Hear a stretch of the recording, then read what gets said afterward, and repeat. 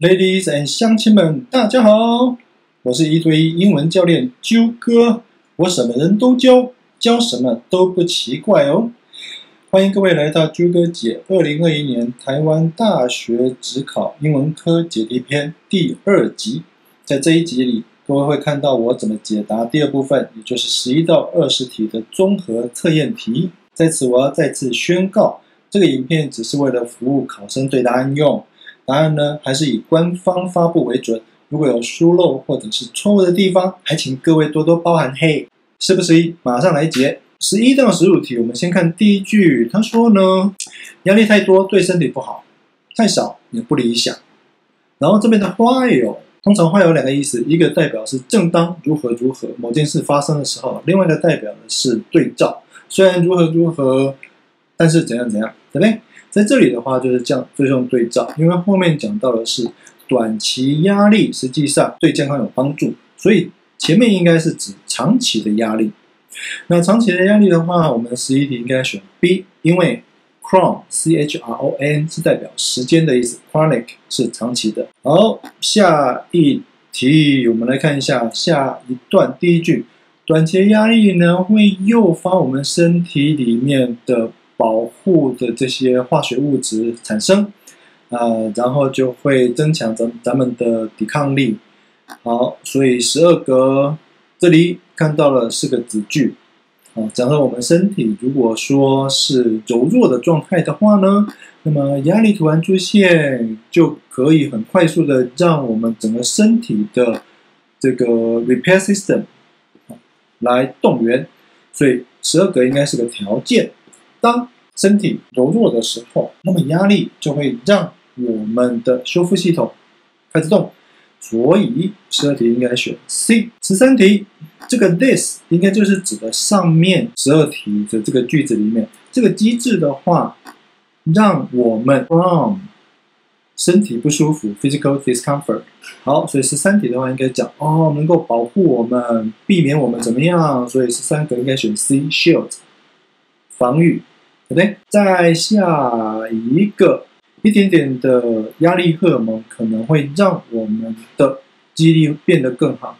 最近有个研究就发现说，把老鼠抓去游泳，他们就会记得在迷宫里面的路如何如何。哎哎，这里就是这一题让人觉得伤脑筋的地方。这边有个 then，所以所以十四个一定是比较级的形容词副词，对不对？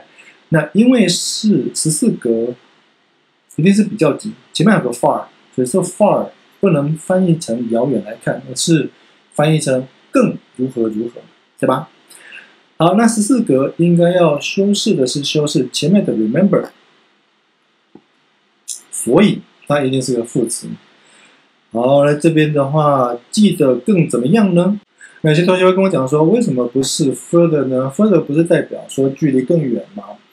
我也我在做考题的时候也有这个困惑，不过我突然想到，如果这个 remember 这个字它是用 traveled 的话，那么就可以讲说 traveled far further，那就合理了吧？走得更远。但是因为这边是用 remember，所以我还是选 better。你的想法如何呢？第十五题，哎。所以呢，要保持有健康的生活形态的关键，就是让我们的压力的程度怎么样，保持均衡。所以应该选 A balanced。好，接下来咱们来看十六到二十题这一篇。好，这一篇的话，一开头一定会有同学跟我讲说：“哦，这三个斜体字 meteoroid。” Meteor, meteorite 都看不懂，好，看不懂也没关系。However, the difference is all about their，嗯，它们的差别都是怎么样？哦，那十六格应该是名词嘛？哎，出题老师也很厉害，A、B、C 猪全部都名词，A 大小，B 重量，C 位置，猪温度，嗯，不知道。好，但是后面一定有线索，对不对？所以十六题我们先放着一下吧，不要急。Meteoroids are far up in the sky。哎，meteoroids，它在天空非常远的地方。嗯，讲距离，对不对？OK，some are very large and maybe hundreds of feet wide。哦，讲到尺寸，嗯，这个就是第十六题的提示吧。所以十六题的话，我猜要不就是 A size，要不就是 C location。先猜嘛，猜了会扣分吗？不会嘛。后面呢，我们继续看 others。哎，所以十七个的话，我们需要动词吧？Others blah blah the size of a small stone。呃，可能吧。所以十七题我们选 B，可能就好了。然后，后面我们继续看。However, sometimes a meteoroid will enter the Earth's atmosphere. 嗯，有些时候 meteoroids 进入地球大气层，跟大气层之间的 friction friction 摩擦，导致它 to blah blah and burn burn 动词，所以十八，而且还放在 to 的后面，十八个一定也是动词。跟大气层摩擦会怎样？最后烧起来，烧起来真的会怎么样？先变成烧诶，所以就要选猪 heat up 加热。As a meteoroid begins to burn in the atmosphere，当 meteoroid 开始在大气层里面燃烧起来的时候，it leaves a streak of light，它会留下一道光。When this tail-like light is falling down toward the Earth, it's called a meteor or shooting star. 啊，shooting star。就知道我知道流星啊，从 meteor 就知道流星哦，就故意讲一个连续剧加漫画 叫《流星花园》哦，记得了，《流星花园》叫 Meteor Garden。好，总算到这里来，meteoroids 离在太空里面非常远的地方，进入大气层之后的话叫做 meteor，所以十六格现在总算知道了。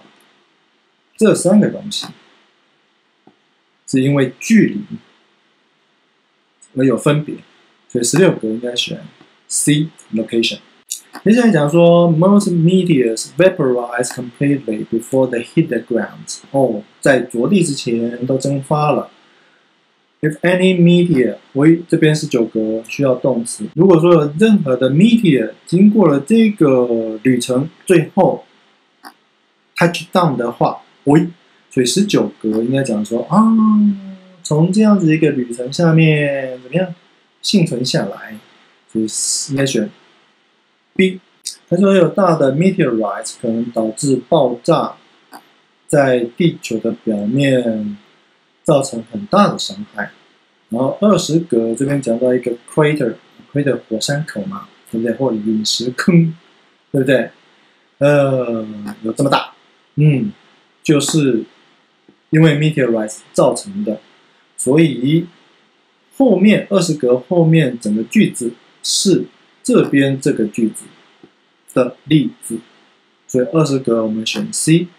For example，各位女士乡亲们，如果觉得这一部影片对您的亲朋好友有帮助的话，请按赞分享。祝各位考生都高中自己心目中的第一志愿。我是九哥，下回见。